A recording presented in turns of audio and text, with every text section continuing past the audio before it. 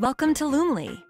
In this video, you will learn how to create a new calendar, connect your social media accounts, and invite collaborators. From your dashboard, you can create a new calendar by clicking on Add New Calendar. This takes you to the New Calendar wizard, dedicated to helping you create a calendar step by step. All settings within this wizard can be updated later in the calendar settings. First, upload a logo image. Enter a calendar name, set a time zone, select your industry, and click on Create Calendar and Continue. The time zone of the calendar will define the publishing time of your posts. Here is a quick tip. You can set your account's time zone independently from each calendar's time zone. This is useful if you live in a time zone that is not the same as your calendar's audience.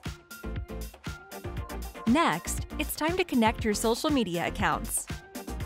In a calendar, you can connect one account from each social media platform. If you want to connect multiple accounts from the same social media platform, you can create multiple calendars. In fact, you are free to create as many calendars as you need. A quick tip. When creating a post, you can clone it to multiple calendars, making the process of managing multiple accounts quick and easy.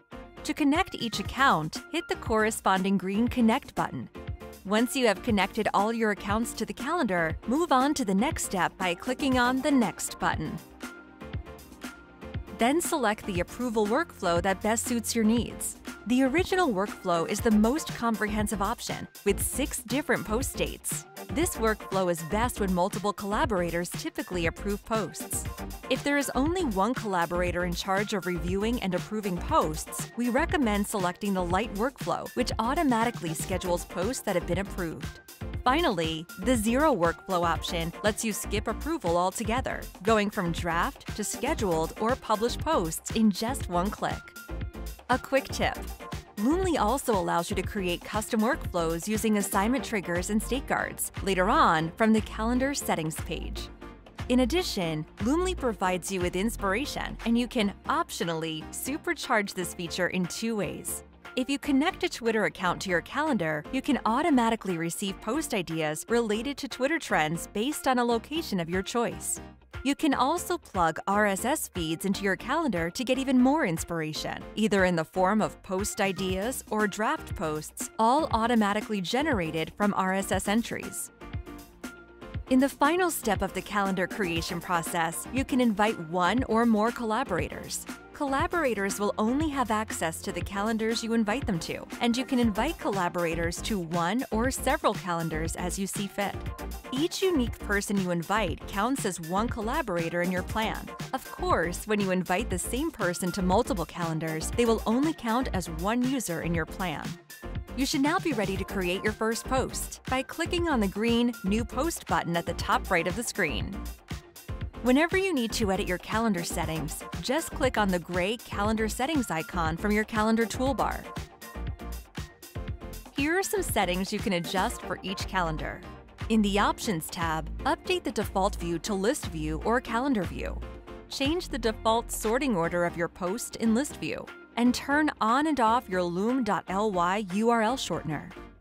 In the Roles tab, create and edit custom roles. In the Slots tab, create scheduling slots based off your preferred posting schedule. In the Workflow tab, build a custom workflow by defining assignment triggers and state guards. Now let's take a look at the different views of your calendar. This is List View.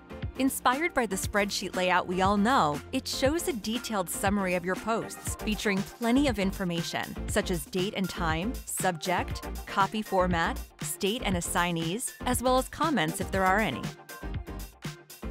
You can interact with all your posts from this view, updating state and assignment or leaving comments. Or you can access Post View for even more details on a specific post. On the flip side, Calendar View was designed with planning in mind and offers a higher level overview of your posts for the month. Here you can drag and drop posts to another date, create quick posts, and ungroup existing posts to reveal any fine-tuned channel variations. All Calendars View, which can be viewed in List View or Calendar View, provides an overview of all posts from all calendars in one place.